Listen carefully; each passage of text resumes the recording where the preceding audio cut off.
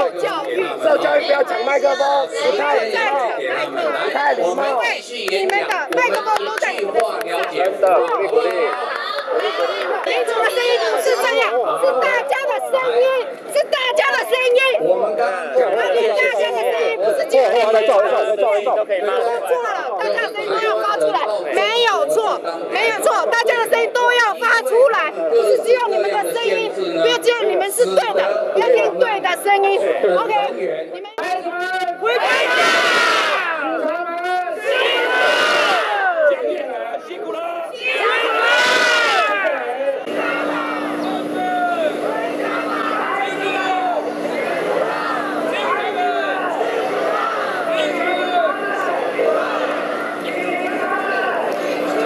啊，辛苦了，辛苦了，花钱的警察，辛苦了，辛苦了，警察，辛苦了，辛苦了，警察，辛苦了，辛苦了，警察，警察，辛苦了，警察，辛苦了，警察，辛苦了，警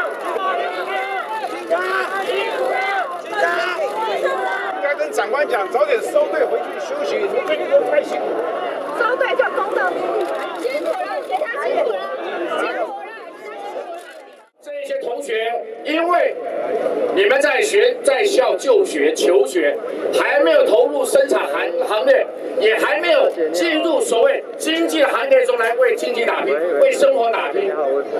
妈妈们希望的是，让我们这些已经投入生产行业，已经在为经济打拼的社会各阶层的民众们，有机会来说说我们的声音。妈妈们希望的是，孩子们，孩子们，孩子们，嘴巴讲反暴力，嘴巴讲要和平，可是冲到立法院，冲到行政院，各位，你们有没有看到警察被打？有没有看到警察被打？我相信绝大多数的同学都希望非暴力，都希望和平，但是我也更加相信，绝对没有警察会主动去通风学生，对不对？各位可以看看，一个警察被六七个人围住掐脖子。各位眷属们，等一下去认真看，这位警察是哪一位？我们要去送开来先给他给他慰问，好不好？什么警察暴力？这些暴民才是暴力啊！他们的诉求，政府有没有回应？有没有回应？监督机制，行政院是不是说他们愿意立法了？对啊。有没有逐条讨论啊？有。现在是不是要逐条讨论啊？有。那为什么这些诉求已经达成了，还不回家呢？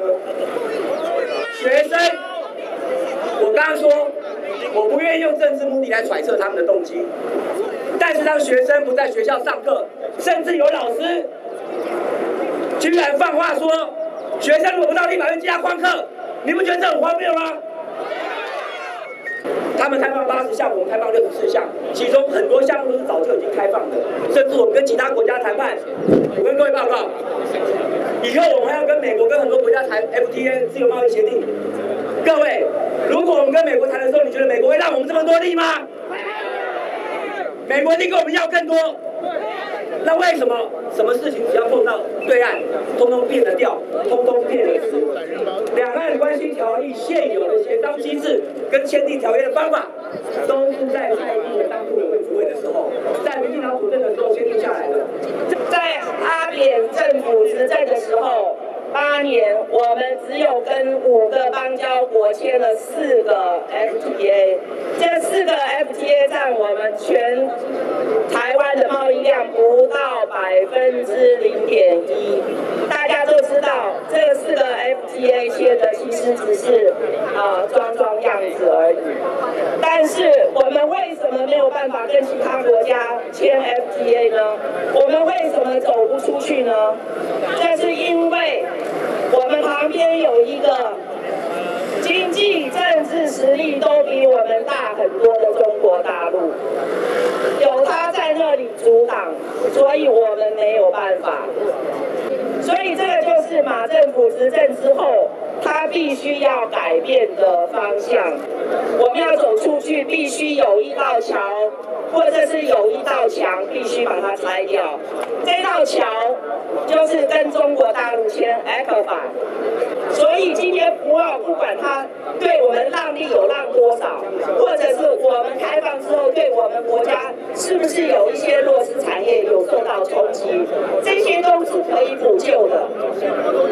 但是如果这个服贸协议不生效的话，未来台湾走不出去，我可以肯定的跟大家讲，我们的经济只会更坏，我们的失业只会更严重，我们的所得不会更好。啊，如果是这样的话，大家觉得，如果大家真的觉得，哎，服贸协议是一个不是一个很好的协议，那我也只能说，两害相权取其轻，对不对？所有世界上任何一个 FTA 不可能全民都受益，也不可能全部产业都受益，一定会有一些弱势的群众、弱势的产业会受到伤害。但是政府必须要站出来替他们解决问题，而不是要所有的产业、所有的人民一起赔下去。政府的沟通很重要。如果说搞不清楚，我们也认为政府应该要加强沟通。如果说有什么地方大家认为需要来坐下来谈的，我们也认为政府应要敞开他的胸膛，来好好的聆听我们这些孩子们的声心声。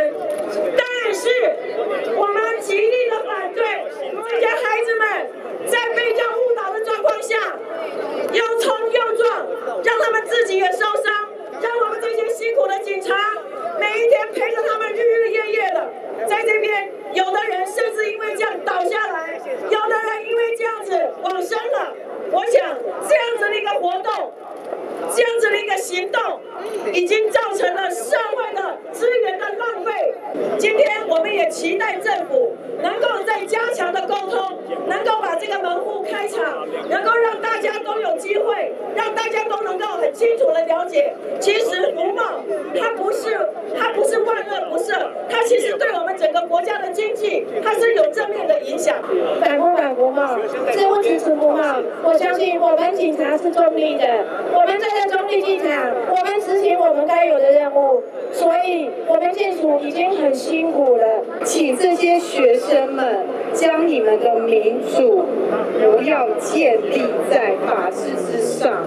他们在回家之后，他们不是马上就休息了，因为他们回去他们的派出所，仍然还是要继续为我们每一位台北市民、新北市民、桃园县民、所有的台湾人民的平安，还要继续巡逻、继续站岗、继续守候。我们的警察辛苦不辛苦？辛苦。有一个媒体在跟我连线的时候问我说：“我们警察为什么要镇压？”我说：“我从来不认为我们警察有镇压群众，我们只有媒体在镇压警察，大家说对不对？”我当然也很希望警察，我很希望就让他们回家罢工吧、休息吧，让他们休假吧。